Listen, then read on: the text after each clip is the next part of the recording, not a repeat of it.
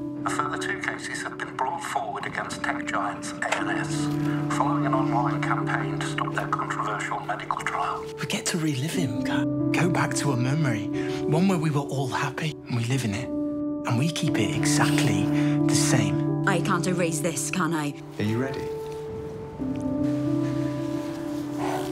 I don't want to do this on my own. Something is not right. Lucas, Whatever you wanted, however you wanted it, just know that I'll be really, really proud of you.